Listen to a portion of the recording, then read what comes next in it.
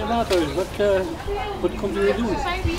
Nou, ik, uh, ik zie hier dat de buitensportverenigingen weer uh, beginnen op te starten in een georganiseerd verband en natuurlijk met begeleiding. En daar ben ik ontzettend blij om. Alle buitensportverenigingen die gaan vanaf vandaag weer langzaam opstarten. Dat gaan ze begeleid doen. Ehm, en elke buitensportvereniging uh, zorgt ervoor dat hun leden weer kunnen uh, sporten in een georganiseerd uh, verband. En dat is natuurlijk een mooie mijlpaal na weken van binnenblijven voor de jeugd. Doet u zelf ook aan sport? Zeker doe ik zelf ook aan sport. ik loop hard, maar dan doe ik dat individueel en dat mag dan ook. maar de kern is dat, dat we de buitensport weer willen opstarten in Almelo. Dat mag ook weer. Uh, maar dat moet wel uh, natuurlijk goed georganiseerd uh, gaan gebeuren en ook gefaseerd. En dat is wat er nu vanaf vandaag gaat plaatsvinden. En dat is hartstikke mooi. Dus ook bij de voetbal, hier bij de hockey, de tennisverenigingen zijn ook coronaproof bezig.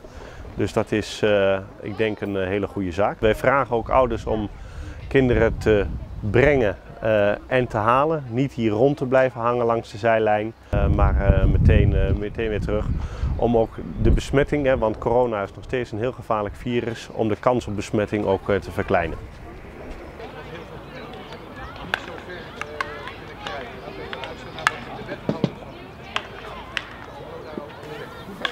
Ja, heel fijn. Heel fijn. Ja. Niet alleen ik, de club, en, maar zeker ook de kinderen e-, enorm blij. Ja.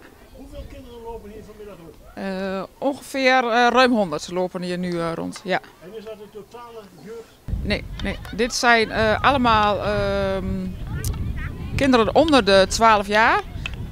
Voor ons zijn dit de jongste jeugdleden en de elftallen vanaf de D-jeugd. Uh, traint zometeen twee jeugdteams, twee D-jeugdteams.